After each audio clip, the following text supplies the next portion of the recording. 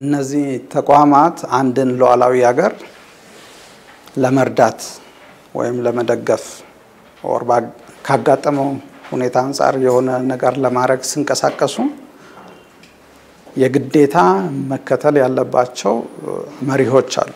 የአፍሪካ ጉዳዮች ተመራማሪው አቶ በፈቃዱ እንዳሉት የዓለም አቀፍ ተቋማት እርዳታና ድጋፍ በዓለም አቀፍ መርሆችና በየተቋማቱ መመስረቻ ሰነዶች ሊተገበሩ ግድ ይላቸዋል። ሁሌም ግን እውነቱ ይህ አይደለምና ዓለም አቀፍ ተቋማት የሀያላን ሀገራት አጀንዳ ማስፈጸሚያዎች ናቸው የሚል እሳቤ እንዲፈጠር ሁሉ ሆኗል። እንደ ተመራማሪው ገለጻ በሀገራችን ከተከሰተው ጦርነት ጋር ተያይዞ የሚደረጉ ጫናዎችም የጦርነቱ መከሰት ላይ ብቻ የተመረኮዙ አይደሉም። ቀዳሚው ታላቁ የህዳሴ ግድብና ከተመጽዋችነት የመውጣት ጥረት የመሳሰሉት ሁሉ ምቾት የሚነሳቸው መኖራቸው ናቸው። ሌላኛው ደግሞ ኢትዮጵያ ከሀገራት ጋር እያጠናከረችው ያለችው ወዳጅነት።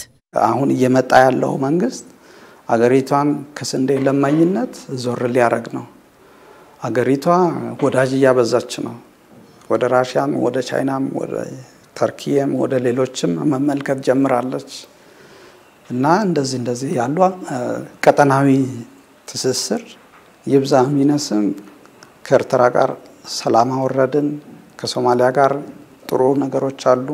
እና ቀጠናው አብሮ ብያያዝ ጠንካራ መሆን እንችላለን የሚል እና የነገ ሁኔታችንን እንደ ሀገርም እንደ ቀጠናም ሊለውጡ የሚችሉ ሁኔታዎች ግድቡም አለበት እዛ ላይ። ይሄ እኛ ከምናገኘው ኃይል በላይ implication ኑ ከባድ ነው ለነሱ። እናም ይህና ሌሎች ፍላጎቶች ተደማምረውበት አሸባሪው ቡድን ላይ ሳይሆን መንግስት ላይ የሚደረጉት ጫናዎች ዛሬም ድረስ እንደቀጠሉ ናቸው። በርካታ መገለጫዎች አሉት። የአገልግሎት መመለስን በተመለከተ ለምሳሌ ሐምሌ ላይ ወደ መቀሌ ሄደው የነበሩ ልዑካን ቡድን አባላት መግለጫ ምን ይላል? swift restoration of services፣ በቃ አፋጣኝ የአገልግሎቶች መጀመር መኖር አለበት። መንግስት okay አገልግሎት እንጀምራለን፣ ነገር ግን ማውራት አለብን። የቴሌ የባንክ የምናምን አገልግሎት ለመጀመር የሆነ switch on off ማድረግ አይደለም፣ ሂደት ነው። ከነበረው የጦርነት ሁኔታ አንጻር የጸጥታ ዋስትና ያስፈልጋል። ከዛ ባሻገር ግን እንዴት እናርግ፣ እንዴት ይተዳደር፣ ባንክ እንዴት ይንቀሳቀስ በሚለው ላይ ማውራት አስፈላጊ ነው። ይህን ሀሳብ መንግስት ሲያቀርብ okay መንግስት አገልግሎት ለመጀመር ዝግጁ ነው፣ ህወሓቶችም ለዚህ ማውራት አለባችሁ ወደሚል የመግፋት ሁኔታ አልነበር የተባለው።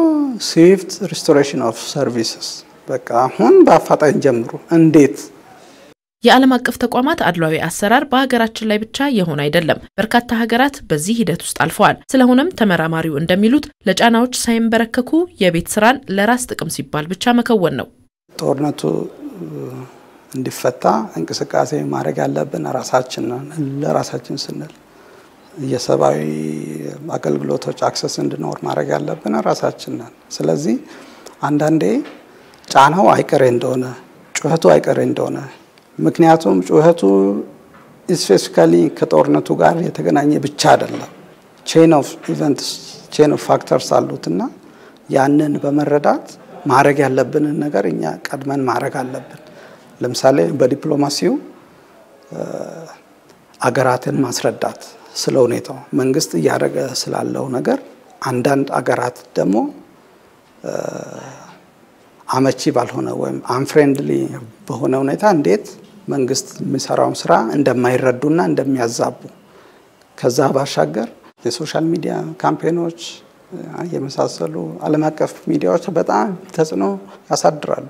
እኛ engage ማድረግ መቻል እውነታው መያዝሽ አይደለም ትልቁ ነገር፣ እውነታውን propagate ማድረግ ያስፈልጋል።